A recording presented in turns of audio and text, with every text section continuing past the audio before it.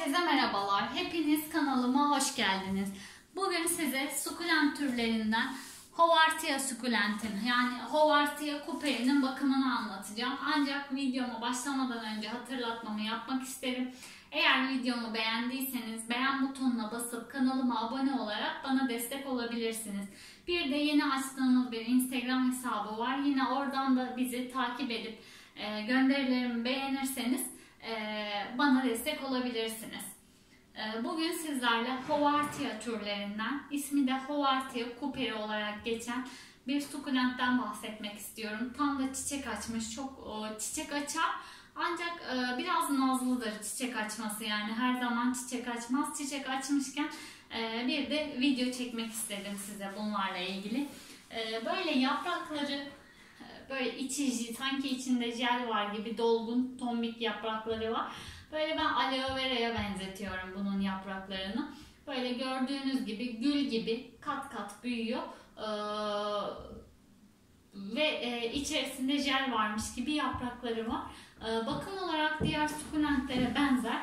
Ee, bulunması gereken ortam olarak e, kışın e, çok soğuk havalarda ben içeride bakıyorum. Özellikle Aralık, Ocak, Şubat aylarında içeride e, perdenin arkasından ancak direkt güneş ışığı alan aydınlık bir yerde bakıyorum. E, kışın değil ancak ilkbahardan sonra yaz aylarında 15 günde bir sıvı bitki besini veriyorum. Hem bu daha hızlı büyütüyor bitkileri hem de yavru vermesini hızlandırıyor. İlkbahar, yaz ve sonbahar aylarında ise balkonumda bakıyorum. Balkonumun e, direkt güneş ışığı almayan ancak aydınlık olan bir yerinde bulunduruyorum. Dış ortamda olduğunda daha hızlı, daha güzel büyüyor bir bitki. Ee, bulunması gereken, e, konulması gereken toprağa geldiğimizde ise drenajlı bir toprak olması gerekiyor. Şu an üzerinizde gördüğü, üzerinde gördüğünüz e, benim dekoratif olarak kullandığım lekat yani kil bilyesi olarak geçmekte bu lekat. Ee, yani güzel görünmesi için buraya lekat doldurmuştum ben. Normalde altında kaktüs sukulent toprağı var. Ee, yani e, kaktüs sukulent toprağının diğer topraktan farkı ne? içerisinde e, drenajı sağlamak, su tutmaması için biraz çakıl taşı ile geçirgenlik sağlanmış. Yani siz de e, marketlerden aldığınız torf toprağı ile kendiniz kum, çakıl taşı, dere kumu tarzı şeylerle karıştırıp drenajlı bir toprak elde edebilirsiniz.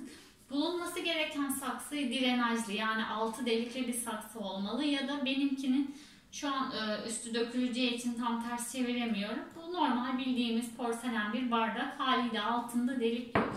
O yüzden ben bu saksının yaklaşık olarak şuraya kadar falan e, iri çakıl taşları vardı. Çakıl taşlarını koydum serdim altına. Yani şu an sulama yaptığımda fazla su sanki altında tabak varmış gibi şu kısımda e, birikiyor. Ancak yine de altının deliksiz olduğunu, drenajsız olduğunu bildiğim için aşırı sulama yapmıyorum. Buna göre sulamasını yapıyorum. Çünkü altta biriken su e, bir süre sonra yeni sulama yaptığımızda yine artarak kök çürümesine sebep olabilir. Altta biriken suyun da birazcık bitmesi gerekiyor ki yeniden sulayabileyim. O yüzden hani çok acemiyseniz bitki basın bakımında e, direkt e, drenajsız porselen saksıda bitki bakmanızı tavsiye etmem. Şöyle gördüğünüz gibi beyaz çiçekleri var. E, aslında çiçeklerinden çok e, yapraklarının görüntüsünün dekoratifliği açısından kullanılır. Çünkü çiçekleri e, yani bu şekilde açıyor. Çok daha büyük, çok dolgun çiçekler değil. E, çoğaltılmasına geldiğimde ise çoğaltılması e, köklerinin dibinden yavrular veriyor. O yavrulardan çoğaltılabiliyor. Şöyle gördüğünüz gibi ben bunları bu bitkiden çoğalttım. Şu dip kısımlarında hala var. Şöyle göstereyim. Mesela şurada bir tane yavru var. Ancak ayrılacak kadar küçük değil. Hem bu arada e, çok büyüyen yavruları ayırırsanız bitkiniz hem daha hızlı büyür hem de yaprakları irileşir. Gördüğünüz gibi bu yavruları direkt ayırdım. Köklü değil de bu ya ayırdığım yavrular. Suya koyabilirsiniz siz köklendirmek için. Ancak ben suya koymadım. Direkt toprağa ektim. Ancak bu aşamada biraz e, bu ayırdığım yavruların sulamasını sık yapıyorum ki çabuk köklensin. Gördüğünüz gibi e, bir tane Hovartia'dan toplamda e, dört tane yavru ayırdım. Bu Hovartia'nın farklı türleri var. Mesela zebra sukulent var. O da yine bir Hovartia türü. E, buna benzeyen farklı e, türleri var. Yine renkleri e, farklı. E, bu Hovartia türlerinden Hovartia cooperi. E, sulamasına geldiğimizde ise e, saksıları, drenajlı saksılar için konuşuyorum. E, sulaması tabaktan aşağı yani taba, saksının altındaki tabağa su taşsın mutlaka sulama suyu. E, sulama sıklığınız az olsun, sulama miktarınız değil. Çünkü her sefer sulama yaptığınızda az sularsanız su üst kısımda kalacak aşağı inemeyecektir. Aşağıdaki kökler kuruyacak, yukarıdaki kökler çürüyecektir. Bu da dengeli bir sulama olmaz. Yani e, suladığınızda saksının her yerinin ıslanmış olması gerekiyor. Ve e, elinizle toprağı eşelediğinizde eğer toprak kuruysa o zaman sulama işlemini yapın. Hmm Sulama suyunda eğer çeşme suyu kullanacaksanız çeşme suyundaki kireç nedeniyle bir süre sonra toprağın üzeri beyazlamaya başlıyor. Bu sizi korkutmasın.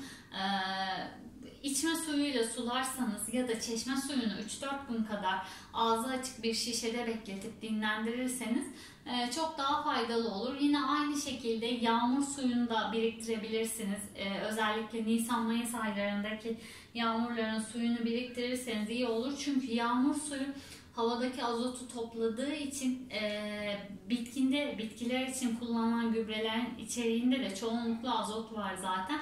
Bitkilerin gelişimi için çok faydalı yağmur suyu. Bir de sukulentlerim olsun, menekşelerim olsun. Ee, ayda bir iki defa ben e, haşlanmış yumurta suyunu, haşlanmış yumurta suyuyla suluyorum. Ancak bunu dediysem e, haşlanmış yumurta suyuyla sulamaya abartmayın. Yani her gün haşladığınız yumurtanın suyunu aynı bitkiye dökerseniz bitkiyi e, fazla mineralden dolayı yakabilirsiniz, kurutabilirsiniz. E, bu da bu aşamada önemli. O yüzden e, bu bitki sıvı bitki besinlerinde, bitki gübrelerinde e, miktarın çok fazla önemi var. E, büyüme potansiyeli e, aslında çok dar bir yerde değilse çok hızlı büyüyor. Ancak kış döneminde aldıysanız kış döneminde hovartiyalarda diğer sukulentler gibi biraz daha yavaş büyürler. Çünkü kış döneminde sukulentler de o soğuğu hissettikleri için uyku dönemine girerler. O yüzden büyümeleri ilkbahar, yaz e, dönemlerinde oldukça hızlı olur. Özellikle ilkbaharda yavru vermeleri artar. E, yavru ayırmanın zamanı yoktur ancak ilkbahar, yaz dönemlerinde ya da sonbaharda yavruları ayırırsanız daha iyi olur. Çünkü kışın ayırıp ım, toprakta çoğaltma işlemi yaptığımızda hava soğuk olduğu için bitkiler de bundan etkileniyor. Çok çabuk köklenmiyor, bitkiniz çürüyebiliyor, yeterince güneş ışığı alamadığı için e, yeterli gelişemeyebiliyor. O yüzden çoğaltma için en uygun dönem ilkbahar ve yaz dönemleri. Çünkü sonbahara doğru da büyüme biraz yavaşlıyor sonbaharda. İlkbahar ve yaz dönemleri e, pek çok sukulentinizi, kaktüsünüzü çoğaltmak için uygun bir dönemdi, dönemdir. Yılda bir kez saksı değişimi yapmanız e, yeterli. E, bu saksı değişimini de ilkbahar döneminde yani uykudan uyandırma amaçlı yaparsanız sukulentlerinizi çok daha faydalı olur. E, Havartia videomun da sonuna gelmiş bulunmaktayım.